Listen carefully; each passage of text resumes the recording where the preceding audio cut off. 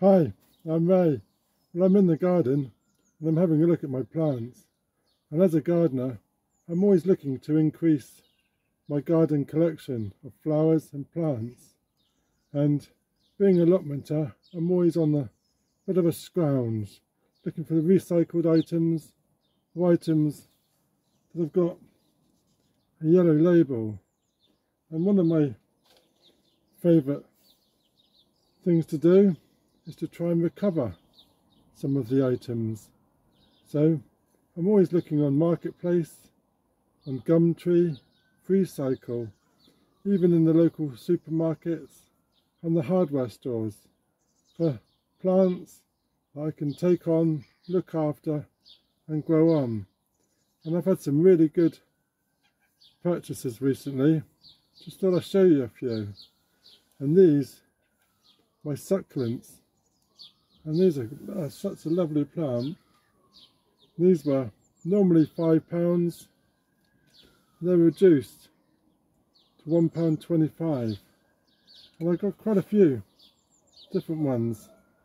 They're very dry. Some of them, the pots have cracked, but the succulent in the plant is really good. Really good and they've got quite a few. So I actually picked up seven of these. Different shapes different styles. We even picked up these hyacinths 20p instead of two pounds. Okay? They are dying. But once they're dead-headed we can plant the bulbs for next next season. And that'd be ideal? Just put them in a pot sorted. We bought these mini roses from Valentine's Day and we potted it out, gave it a trim. They were looking really, really, really, really sad. But fortunately, it's been overwatered by the kids. So I'm just giving it a drain. But it's been really, really useful. So when you're looking at items in the shop, it's always good to have a look, see whether they're sprouting some green shoots, whether it's likely to survive or not. So this parsley is just dry as anything. All it needs is a bit of water. You can just feel the pot is so light. If it was heavy, like this one, you'd really notice a difference if this has got water in and this hasn't. So that's always a good sign to look for. Have a look at the roots. See if it's pot bound. Just a bit of water and that'll be fine.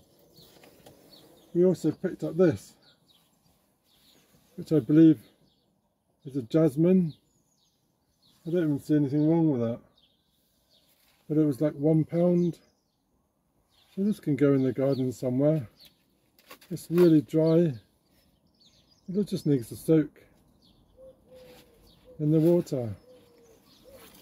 And my purchase yesterday was this. Well, I haven't got a clue what it is. And it's dry as our bones. But I'm going to put it in some water and see if it recovers.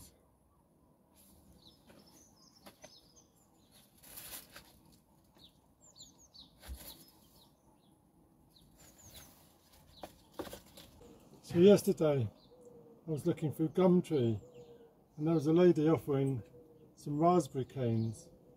And I, I dug up all my recent raspberry canes because they were just uh, just crazy and out of hand. And she offered some raspberry canes. I thought well that was a good opportunity to get some more. So I went down and visited her on her allotment and she literally dug them out the ground while I was there and these are really healthy. I'm not getting down to the allotment this weekend so I'm going to put these into a bucket I'm just going to cover them with a bit of soil so we can get them down during the week and that's also another great opportunity to get some extra plants so while I was visiting May down her allotment for the raspberry canes. She also offered me some primula. This is a wild primula uh, and it needs a bit of a sort out. That's literally dug it out of the ground and handed it me. It's a great opportunity to get some extra plants. And then also, if I wanted a foxglove, and they're looking really good. And also some oxtail, some ox eye daisy. And these can be split apart. I'm going to grow some of these so I get the wild effect on the allotment. So I'm going to sort these out this afternoon. On another visit, got some of this black grass. It looks really cool. And this was in one large clump. And we've put it all in separate pots. And also, we've got this plant here. And we potted this on.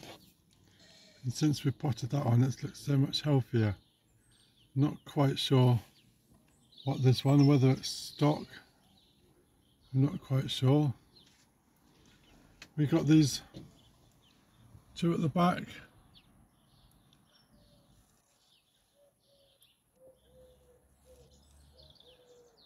and these were in a real bad state. And this one in the front.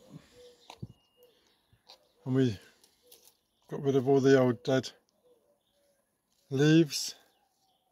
We've got some young shoots coming through. And similar to this one. And we've got this phlox this white phlox that came in a great big clump and we split it all up and put it in those individual pots this is going to go into the wild flower garden. Different ways you can get extra plants for free or cheap. But the next project is to look after this one. So if you're new to my channel then please subscribe, ring that bell, get notifications and see if I actually grow this plant on, whether it just dies. Cheers!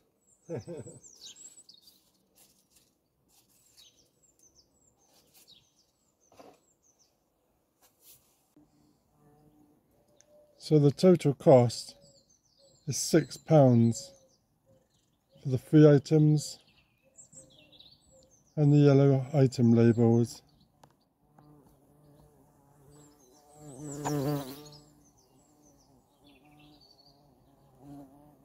And it's attracting the bees